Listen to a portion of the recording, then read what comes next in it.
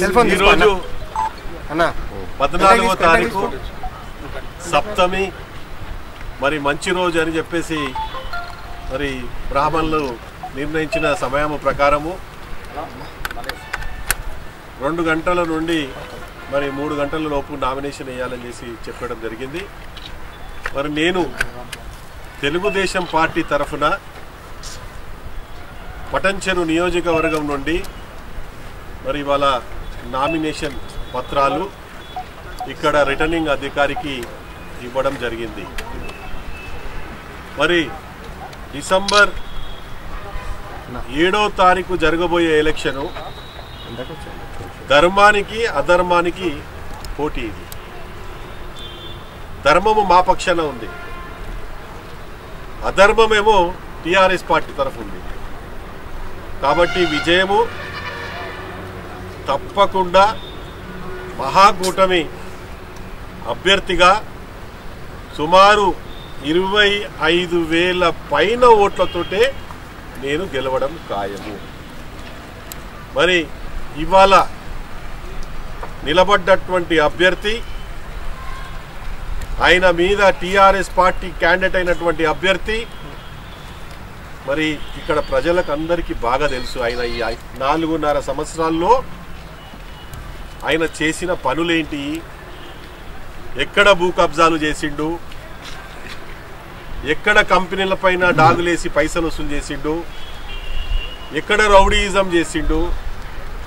మరి ఈ ప్రాంత ప్రజలంతా కూడా విసిగెత్తిపోయారు ఆయన పేరు మీద.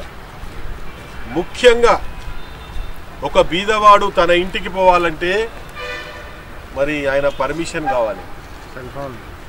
ఆయన పిలిచి ఆయన దగ్గరికి పోవాలంటే వాడు ఆ బీదవాడు కొత్త బట్టలు కుట్టించుకోవాలి కొత్త చెప్పులు వేసుకోవాలి మంచిగా మేకప్ చేసుకుంటే కానీ ఆయన ఇంట్లోకి రానియరు అంటే ఆయన ఇంట్లోకి ఎవరు రావాలంటే డబ్బున్న ధనికులు తప్ప దళితునికి కానీ బీసీలకు కానీ ఎస్సీలకు కానీ ఎస్టీలకు కానీ మైనార్టీలకు కానీ అక్కడ ప్రవేశం లేదు. వాళ్ళ ప్రవేశం ఎవరికి? కాలి కోటీశ్వరులకు భూ దందాలు చేసుకునే భూ బకాసురులకు ల్యాండ్ మాఫియా వాళ్ళకు మరి ఈ స్మగ్లింగ్ దందా దొంగ దందాలు ఎవరెవరైతే చేస్తారో వాళ్ళకే ప్రవేశం ఉంది తప్ప ఆయన ఇంట్లో ఇంకొకరికి లేదు.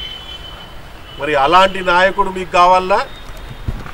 మరి ఎప్పుడు ప్రజలకు అందుబాటులో ఉండి ఏ చిన్నవాడు వచ్చినా పెద్దవాడు వచ్చినా ముందు కూర్చోబెట్టుకొని మంచినీళ్ళు తాగిపించి ఛాయ్ తాగిపించి వాళ్ళ సమస్యలు తెలుసుకొని వాళ్ళ సమస్య సమస్యలు పరిష్కారం అయ్యే విధంగా చర్యలు తీసుకునే నాలాంటి నాయకుడు కావాలన్నా దయచేసి మీరు ఆలోచించుకోండి ప్రజల మీరు బాగా ఆలోచించి ఓటేయండి ఓటేసేటప్పుడు.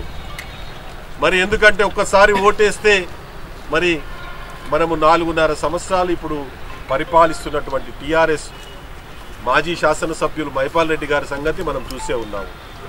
మరి అలాంటి ఎమ్మెల్యే కావాలన్నా మరి నాలాంటి సామాన్య ప్రజలకు కూడా అందుబాటులో ఉండే నాయకుడు కావాలన్నా దయచేసి మీరే ఆలోచించుకోవాలని చెప్పి నేను విజ్ఞప్తి చేస్తాను. మహాకూటమిలో. మహాకూటమి అభ్యర్థిగా నేను మళ్ళా ఇంతకు మొదలు కూడా చెప్పినా ఇప్పుడు కూడా చెప్తా ఉన్నాను.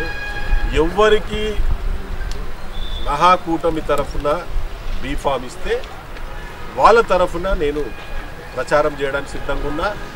నాకు ఇస్తే అందరూ కూడా పనిచేయాలని చెప్పి నేను విజ్ఞప్తి చేస్తాను.